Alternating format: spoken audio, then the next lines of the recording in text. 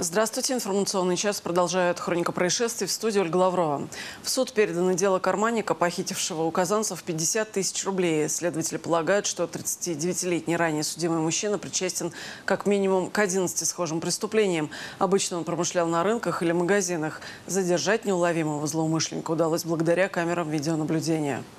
На этих кадрах видно, как подозреваемый прогуливается по одному из казанских рынков. Следуя из показаний своих жертв, он не выслеживал, а скорее действовал по ситуации. К примеру, это преступление он совершил в момент, когда прохожий отвлекся буквально на одно мгновение. 39-летний казанец обвиняет в совершении серии карманных краж на территории рынков. Сумма причиненного материального ущерба превышает 50 тысяч рублей. Одно из преступлений произошло в середине июня. По словам потерпевшей, в этот день она пришла на рынок за покупками. Женщина отвлеклась и задвинула сумку за плечо. В этот момент к ней подошел незнакомец и достал лежащий на поверхности кошелек. На этой видеозаписи отчетливо виден момент кражи у продавщицы. Женщина поправляет свой товар на прилавке и, казалось бы, совсем забыла, что на ее плече висит сумка с документами и деньгами. Мужчина заметил это и подошел поближе. Чтобы вытащить кошелек, ему понадобились считанные секунды. Спустя какое-то время его удалось задержать. Теперь судьбу обвиняемого решит суд. Сотрудники полиции просят жителей города и республики внимательно относиться к сохранности сохранности своего имущества в транспорте и на рынках города, в других местах массового скопления граждан, хранить документы, деньги, средства мобильной связи в надежных местах, не класть их в наружные карманы верхней одежды, сумки всегда держать в поле зрения, закрывать на замки, не оставлять на поверхности кошельки и другие ценности. Мужчина украл из магазина несколько бутылок коньяка. Преступление произошло сегодня днем в супермаркете по улице Минская. По предварительным данным, подозреваемый совершил кражу не с первого раза. Сначала он схватил две бутылки, но на выходе подскользнулся и, упав, разбил их. Решив на этом не останавливаться, он вернулся обратно в магазин и снова забрал товар. Лицо грабителя попало в камеру видеонаблюдения. Сейчас полицейские его разыскивают. Помощь медиков понадобилась одному из участников аварии в Советском районе. В результате сильного удара водитель автомобиля «Рено» получил травмы. ДТП произошло на пересечении улицы Губкина и Арбузова.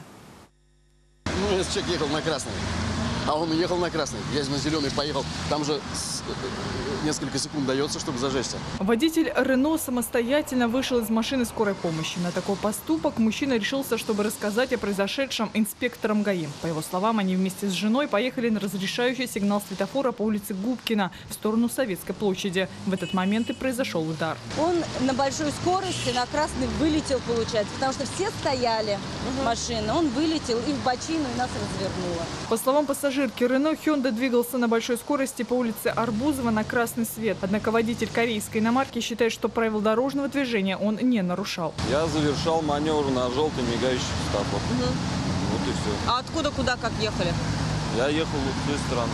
Угу. Она выезжа... Они выезжали вот оттуда. Получается, на желтый мигающий завершали маневр, да. они должны они были обязаны, обязаны были вас пропустить, да. получается. А что он ему сказать еще? Что ему еще сказать?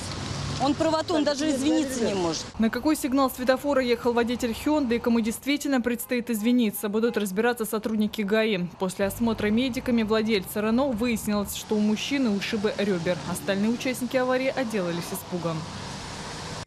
После небольшого перерыва мы продолжим. Оставайтесь с нами.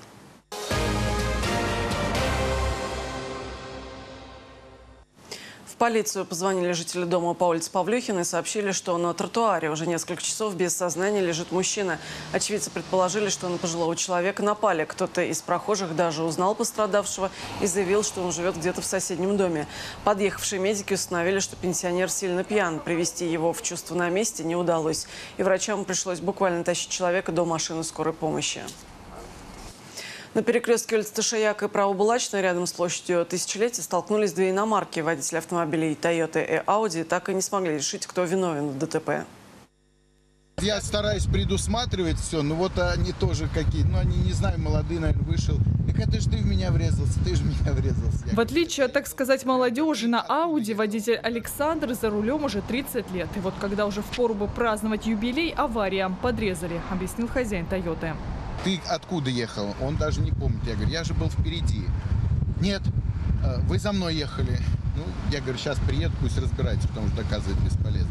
Он налево хотел повернуть, он ехал за мной. Я прямо проезжаю, он за мной поворачивает налево.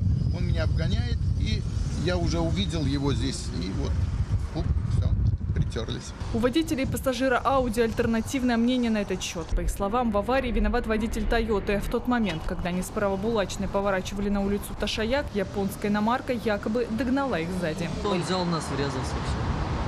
Мы Он вот в ехали, итоге- вот это у нас. Он в итоге врезался, получается. Ну, смотрите, удар у него был удар- ударная сторона, у нас получается. К сожалению, единственный видеорегистратор в Тойоте в момент аварии не был включен. Для того, чтобы разобраться в произошедшем и выяснить, кто же виновен в аварии, участники остались на месте ДТП до приезда инспекторов ГАИ. Разыскивается без вести пропавший житель Маритурекского района Республики Мариэл Петров Алексей Юрьевич, 1974 года рождения. 15 мая мужчина ушел с птицефабрики в Лаишевском районе. По настоящее время о месте его нахождения ничего не известно. Может страдать потерей памяти. Приметы рост 175 сантиметров, худощавого телосложения, волосы темные, глаза карие. Был одет в армейскую одежду защитного цвета, на голове бейсболка, с собой, возможно, есть вещь-мешок. Всех, кто обладает какой-либо информацией об этом человеке, просьба звонить по указанным номерам.